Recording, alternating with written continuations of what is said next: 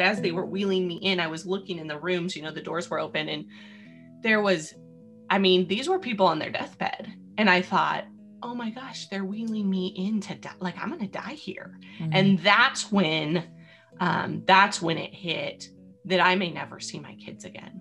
But I just remember thinking like, Lord, if you give me another shot, I promise I'll do it well. I promise I'll do it well this time. Welcome back to Happiness in Progress. I'm your host, Danielle Craig. I'm an Emmy Award winner, a journalist, a mom, wife, and you know what I like to say just a person looking for more joy in the everyday. This podcast is brought to you by the Mail Tribune. You can find more podcasts at mailtribune.com. Don't forget to subscribe if you like listening to messages that uplift your life and give you tools to deal with hardships and even tools to help you enjoy the middle ground of life. Make sure you're subscribed so you don't miss them. All right, let's get to today's episode. Today, we're talking about the not to do list. I love this idea of the not to do list, especially as we're going into the holiday season, which is the season of to do lists. Alana Dawson came up with this idea after a medical emergency. Let me introduce you to Alana. She is a podcast coach. She is the host of the Podcasting Party podcast, and she's a military spouse and a mom. In this conversation, we talk about that medical emergency, what went through her head when she thought she'd never see her daughters again how that forced her to change her life. You're going to hear about how the not to do list was born, how it's kept her on track with her priorities, and how you can do it too. I hope you enjoy this podcast. So let's get to it.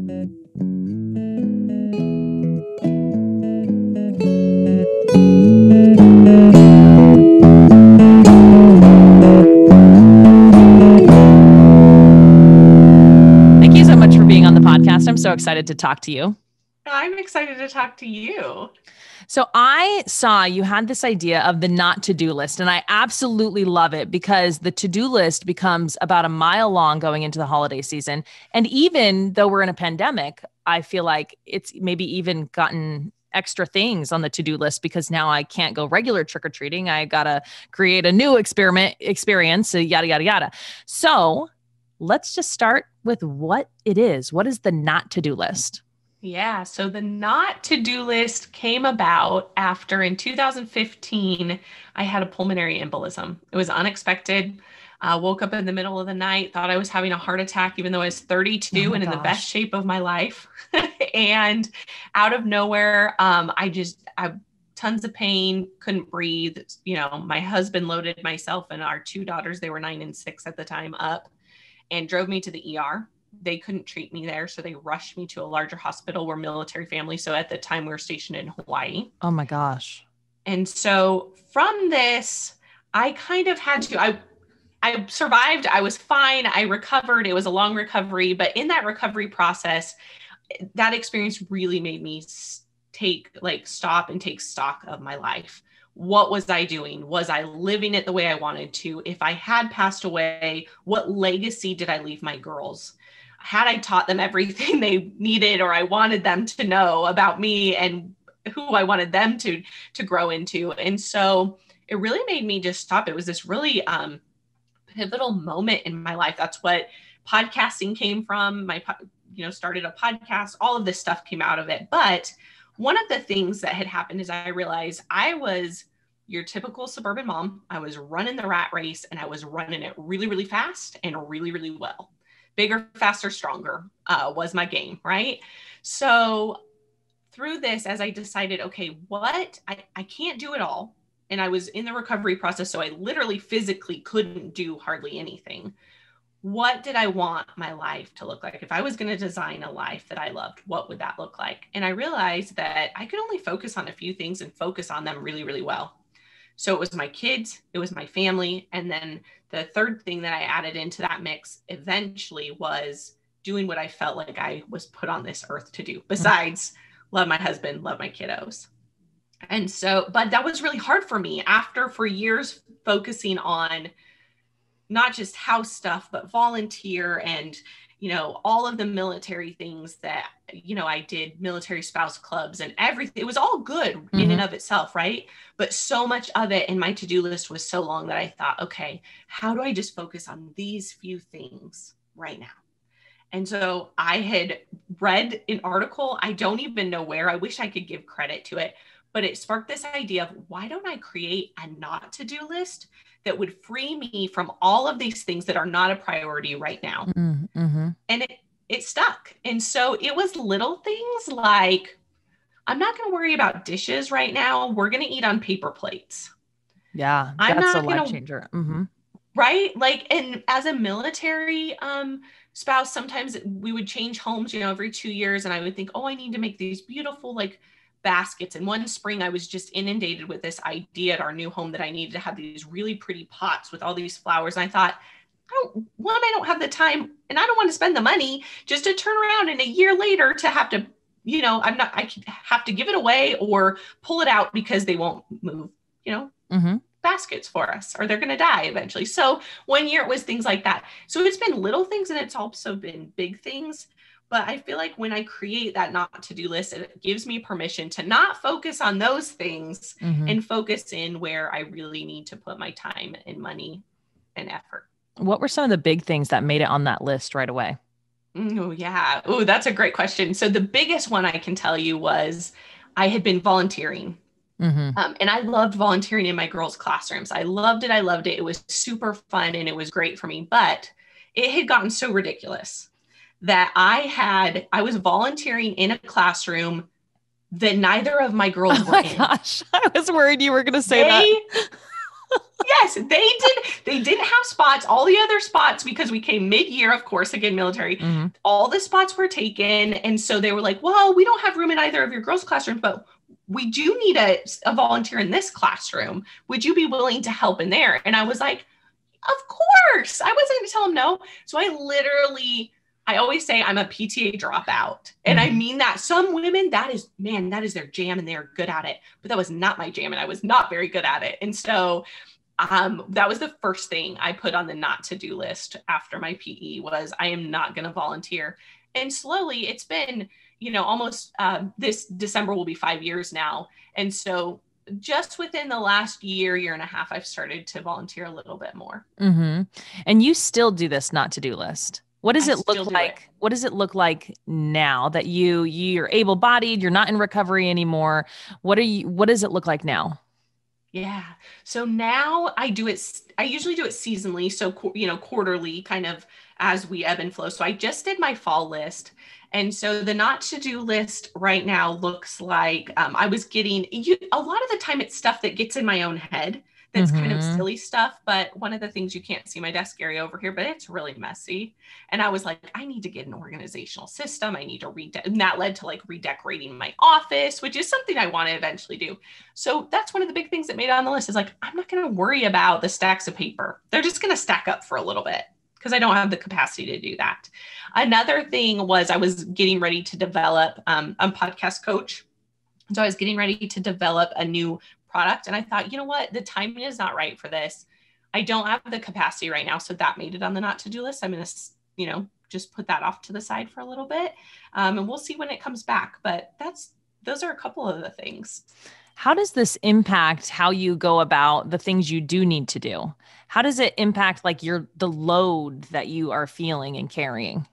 Ooh, I'm so glad you asked this question because it that's the whole reason I do it is Mhm. because it lightens my load. Instead of sitting down and making 20 things that I need to do, I can just focus on those three things because the on the opposite, so I make this not to-do list, but every season I also sit down and I make I set my 3 to 5 priorities that I am going to focus on.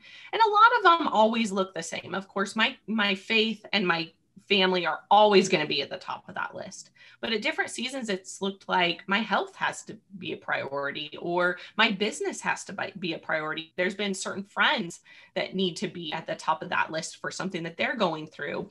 And so it really frees me up to focus on the my priorities and what I'm going to pour into my to-do list instead of worrying about all these other things. It honestly just takes lets me dump it, get it out on paper and say, "Okay, I'm not going to think about that anymore." hmm hmm I think, especially as women, we can put all of this stuff that we have to do, and we're constantly, what I think they call it the mental load. And we just have this mental load all of the time. How do you think that taking this stuff off and like literally saying it will help people who are listening now? Saying like you know i want to paint my fence. The summer has already passed. Like i'm not going to paint it in october. How how will taking that off my list free up some of that mental load? Oh, because every time it it comes into it's it's like a, a, mindset thing, right? What we focus on, it has power. And so instead of always focusing on the fence, I didn't get the fence done. Mm-hmm. You're going to be able to go, oh, that's not something that I'm focusing on right now. That's on my not to do list. I'll get to that next spring or I'll get to that next summer. And it allows you to then free that mental load, right? Free that space for those things that you do want to do and need to do and can pour into. Mm-hmm. One of the things I really like that you mentioned is that you do this seasonally because we change as people. And I think it's really easy to decide, okay, this is how I'm going to be this these are the priorities in my life. But then you don't make room for a changing you and changing needs from like you mentioned putting friends at the top of the list or putting your health at the top of the list. Talk to me a little bit about that. Yeah. So if there's one thing i've learned in the military it's that that everything changes right everything changes including ourselves kids um, we all know if you're a parent listening that at different times our kids need different things from us. Sometimes one needs more attention, sometimes one needs less. You know, you just, there's this ebb and flow to life. That's exactly it. And so by allowing it, and I'll even change it during that season if it needs to be changed you know mm. so but it just gives me permission that like hey it's not going to stay this way and like right so for example right now i solo parent my husband is stationed apart from us um, I always feel like I have to preface that with like we're very much in love. Like we we want to be together. Military just dictates otherwise right now. So I'm solo parenting. I'm running a business. Um, I'm podcasting, uh, and then uh, I'm also solo parenting. So my and and it's have, a pandemic. Oh right. Like let's mention that. Yes. Great. Are your kid? You're in Idaho. Are your kids back at school? They are back. Okay, well that yes. that helps you a li- at least a little bit. it does, yes, and they are the, they're 13 and 10, and so um, even the homeschooling this spring or the virtual schooling went fairly smoothly for us. Um, but yeah, they are back at school, and and they are both in sports, and so sports started back up here, and so I have this rule that we only do one sport per kid per season because that's all I can handle. Sometimes mm-hmm. I can't even handle that. Um, and so right now there it's a lot fuller with driving to practices and this and that. And so I know that for this season, my to-do list is going to be a lot longer or my not to-do list is going to be a lot longer and my to-to-do list is going to be a lot shorter. Mm-hmm. And that's just the nature of the beast. Now, when you know, come the winter, when things slow down and my girls aren't playing sports, then things will look a little bit different. But I think by allowing that space to pick and choose and change um, it doesn't like you know it doesn't pigeonhole us into a certain way just like i said i've started volunteering again that's something that you know i said i wasn't going to do for years and now the timing's right and i have the capacity to do it Mm-hmm. And sometimes I almost feel like Lucy from I Love Lucy. Like I'm trying to do the quantity of the things and I'm running around with my head cut off. Um, when really the quality is what matters. So tell me about how the quality has changed in the things you do keep on the to do list. Oh yeah, yeah. I that you know before my um, pulmonary embolism, it was like like I said, bigger, faster, stronger, right? Like I did so many things, but I didn't do any of them well. Mm. You know, I wasn't fully present. Um, rarely was I, you know, focused on the quality, not the quantity, because mm-hmm. I was trying to make the most people happy, trying to say yes to as many things as possible, overextending myself, overextending my family. That's something, uh, another thing that happened is my poor family, you know, didn't get the best of me at all. They got the last little chopped up slivers that were left over. And so by allowing myself to just focus on those few things, the quality for sure is much better. I mean, I would not be a podcast coach and doing what I'm doing in my business if I didn't, because I wouldn't have had the p- capacity to do that, the time or the energy or the effort. Mm-hmm. I love that we both went to podcasting after our aha moments. Let's go back to the pulmonary embolism that night. Like, do you real did you realize how severe it was as it was happening?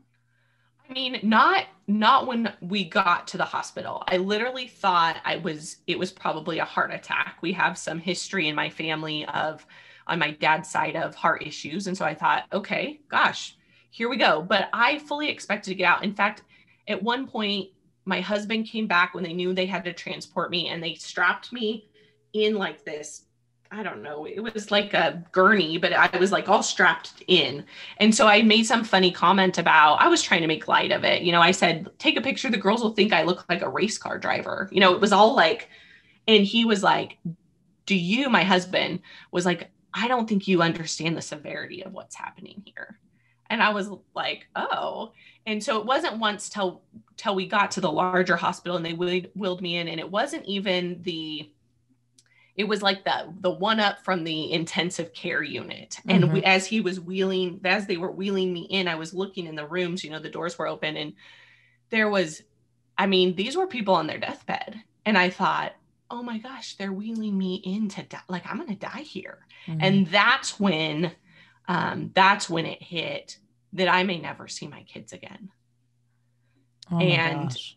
at that moment is when i started thinking and they wouldn't let my kids in so like they couldn't come see me. Um, and then they asked me to stand on the scale and i still remember my husband like grabbed me because he got to be there with me and i stood up and i literally my legs couldn't hold me. Like my body gave out and they were like okay we're not going to weigh her just put her up on the bed. Um, and it was scary and then they, they kicked him out and i was all by myself and i just remember thinking like lord if you give me another shot i promise i'll do it well. I promise i'll do it well this time not wow. that I hadn't done it well up into that point, but that was just the season of my life, as I explained earlier, was just I was running the rat race. Mm-hmm. Mm-hmm. Your priorities were became aligned. Yeah. What are some of the things that go through your head as you're considering your life, like whether you're whether you're going to live or die? Yeah, I think the you know the biggest one was obviously the concern for my girls Mm-hmm. I have a amazing family, and so I knew my husband would have a great support network. But I just kept thinking, like, man, did I teach them the most important things? So when they're graduating from high school, I'm going to get emotional here, but when they're graduating from high school, when they're walking down the aisle, when they're having their first baby, will they remember, like, here's what mom said? You know, mom always said, this or mom always made us and so now you better believe I make it a point to tell them every single day how much I love them, how proud I am of them, how capable they are. And I don't just tell them. That's the other thing I've learned from this experience is I show them. If there is one thing that I wanted them to know, it was that they could do anything they put their mind to. But as a mom, how can we we can tell them that, but how do we get that in their head? And so the only way I knew how to do that was to show them. So that's what I'm trying to do is I'm I try to go after whatever it is that I feel like God has called me to. Um, because again, faith is a really important part of who I am in my life. And so that they'll know. So if anything, God forbid, does happen to me down the road, um, that they will know that without a shadow of a doubt that I love them, that I'm proud of them, and that they can do anything that they set their mind to. Mm when you came out of this on the other side and you knew you were you knew you were okay everything went well what are some of the thoughts you have then? What goes through your mind when you're like oh i made it. I do get that second chance i just prayed for. Yeah i remember the first uh the first day that i got to come home because i was there for a few days and my husband brought me and my girls were with a friend and I sat down like in our big recliner because I still was really weak and wasn't able to move. And so I kind of lived in that recliner for a couple weeks. But my kids came home, they came running in, and I remember number one, how loud they were, which was a joy. It was a joy. It was like, oh man, they're so loud. I love it. And my daughter brought me this crystal.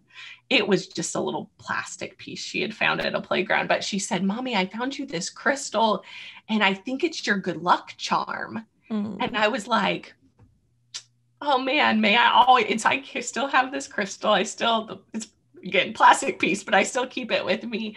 So I think the things that went through my head was just gratefulness. I was just so grateful for everything. I was grateful for how loud they were. I was grateful for how messy the house was. I was grateful for a husband in a command who allowed him to stay with me for a little bit of time. My parents had already planned a visit. Like I said, we were in Hawaii, and so they were coming. They were just a couple days away from getting there, and so I had help. Um, and then the next step, though, was like, how do I undo everything I did? how all those commitments? Do, yes, and not just like the the um, time commitments, but like how do I undo this level of like expectation that I've set mm-hmm. myself up and other people up for. And I will say that's the one thing that surprised me the most is I still dreaded, you know, I dreaded calling the school and telling them that I couldn't volunteer, but also the teacher because she was amazing and I loved working with her. Um, but I I called her and told her I couldn't do it, and she said, "I don't know what took you so long." Oh. So you know just that grace of other people that so often we're so hard on ourselves when other people are like well how does she do it all mm-hmm. Mm-hmm. Was there an expectation that you had to work with that you had set for yourself that you you your expectation of yourself was so high? Did you have to work to lower that? Oh yeah, for sure. How'd you, how'd you do that? Um, I failed a lot. trial. Those are just steps. Those are steps to the answer. Yeah. Yep. Um, I learned a lot I don't actually like when people say like I failed. Um, I try to teach my girls like, no, you didn't fail. You just learned something, right? Yeah, right. Isn't it funny? Um, I, I say it all the time too, and that's something I don't say to my kids, but I say it about myself. We do that as parents. I think it's a practice. We're just totally. practicing. Yeah. So that's exactly. I just had to like. I kind of. Um, I told you about my priorities. I sat down one day and I made a list of the most important things to me. I whittled them down to three to five and then I literally took out our checkbook. Back then, we were still using a register. Mm-hmm. I'm probably dating myself. Um, and I pulled out a register and I pulled out my priority list and whatever in my schedule too. I remember flipping out my book and whatever didn't align with that those priorities and then I went off of the uh, agenda.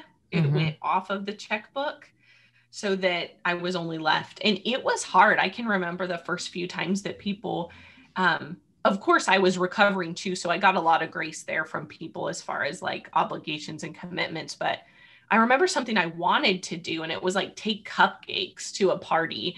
And my husband was like, Is it on your priority list? And I was like, no, but it's cupcakes. And he was like, okay, then I'll make you a deal. You can go buy the cupcakes and take them, mm-hmm. but you can't make them. And so I had help too, you know, friends and family who held me to those standards. My sister sent me, it's one of my favorite books of all times. It's right up here for those of you watching. It's Big Magic by Elizabeth Gilbert. And she was like, this is going to help you read this book and, you know, hopefully at the end you'll know you know why you were put on this earth besides to be a mom and sure enough from it came a lot of the stuff I'm doing today. That is so cool. I'll link the book. In the last five years, you know, humans are so interesting how we deal with something and our brain is like malleable and like goes back to the who we were before. So it's been five years. How have you been able to hold on to that gratitude and hold on to the lessons that you learned from your from your pulmonary embolism?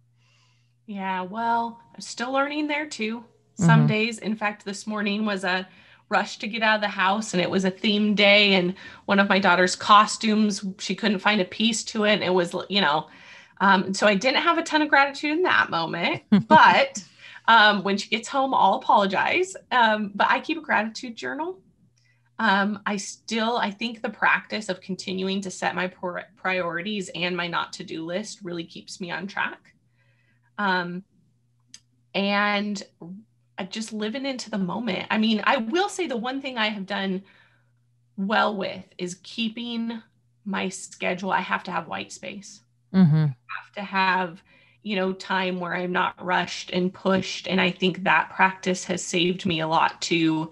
Um, that's allowed me to, because I've still had some health issues and fallout the last five years. We found out that there were some reasons why I had the PE and some diagnosis that I had to work through and some different procedures. And so, um, just keeping those practices, the practice of gratitude, the practice of continually aligning each season, align, continuing to align that vision and those priorities has really really played a huge part. Mm-hmm. I think consistency with anything is a huge, makes a huge impact on our lives. And the fact that you keep going back to it each time is probably a life changer, game changer. Yeah. I like to ask my guests the last question is what do you think the number one tip to finding more joy in the good, the bad, and the in between is? Hmm, I love this question. And so I've been thinking about it. it's so hard for me to say like one. It's a hard one. And I you I don't tell I don't tell people before because I want to get like you're like off the top. Well, but you knew, you knew it's okay. Well, only because I listened to the show, right? And so I was Which like, is okay. even better.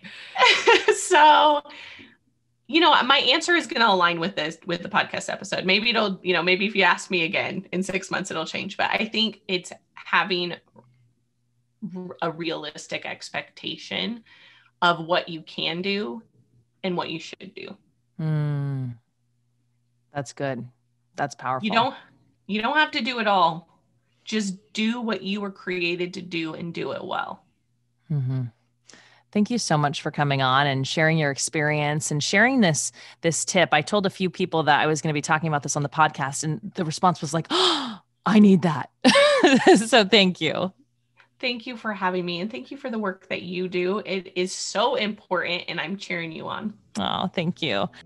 I just love the perspective Alana offered us in this episode and how easy it is to get off track with the things that are our priorities. I'm going to link all of her information where you can follow her in show notes. And I want to thank you for being here. And do not forget to subscribe to hear more stories and more tools that will help enrich your lives. Thanks for being here on Happiness in Progress.